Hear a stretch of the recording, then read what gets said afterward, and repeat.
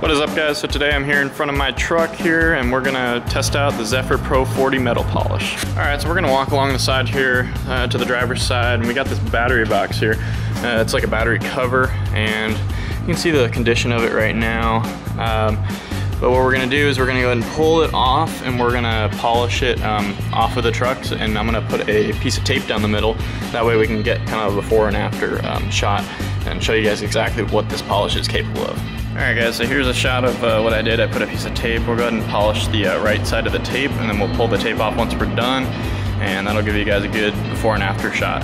So I'll just let you guys kind of see the overall composition of the, uh, I mean it's not a filthy surface but it's definitely not polished. So. Alright guys, so we got our surface that we're going to polish here. We got a terry cloth here and a microfiber to wipe it, uh, wipe it clean. So what we're going to do is take the Zephyr Pro 40, shake it real good,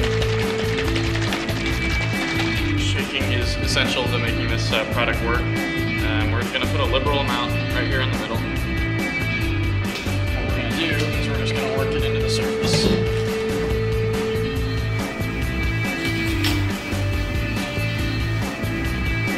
Spread it all around.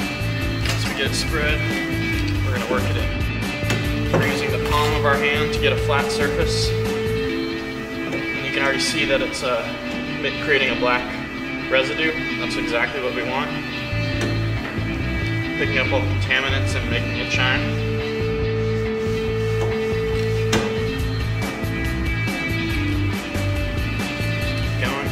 Now, the th nice thing that I've noticed about this polish is that you can leave it on for literally like as long as you want. Come back and wipe it clean like you just put it on. You might compare that to some other polishes like Mother's or something like that where if you don't wipe it off within like 30 seconds, that stuff's on there and these streaks. So I'm really impressed with that. All right, so you can see we have a really black uh, residue left right now. That's exactly what we want. Keep polishing. Now you don't have to really press very hard with this polish either. Let the polish do the work.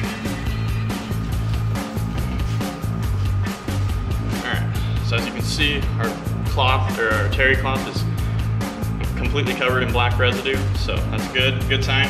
So what we're to do, set that up there. We'll use our microfiber. Notice how I have everything uh, folded into fours, giving me a bunch of clean sides that, uh, to wipe it away with. What we're gonna do,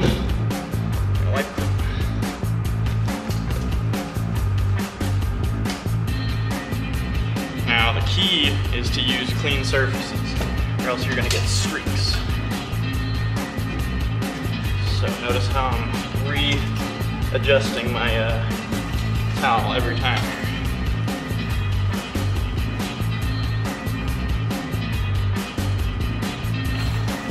we're just working this black residue out.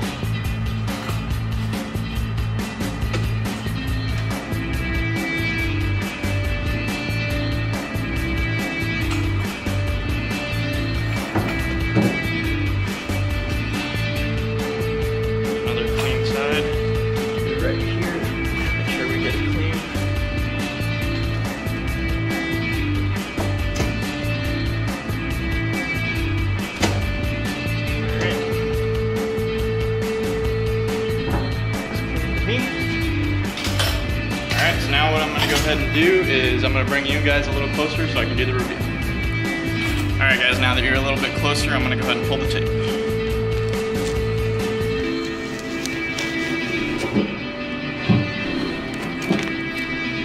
Nice, that looks way better. All right guys, I just want you to check out this night and day difference. The right side is your polished side and your left side is your unpolished side. Look at that distinct line. It is definitely polished. Look at that, that looks good. So yeah guys, check out Zephyr Pro 40 polish. It's an awesome product. So far I love it. I've done quite a bit of the truck already and I'm really impressed with the results. As you can see for yourself, it definitely shines it. So get your Z shine out.